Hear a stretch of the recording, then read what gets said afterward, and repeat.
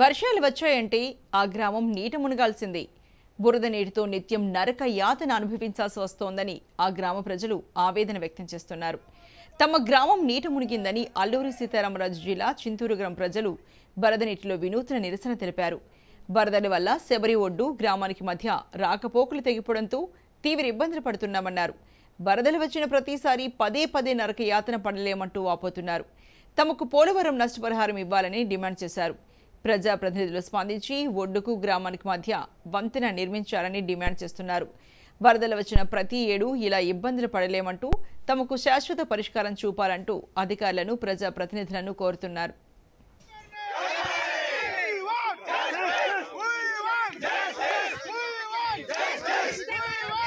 Yes.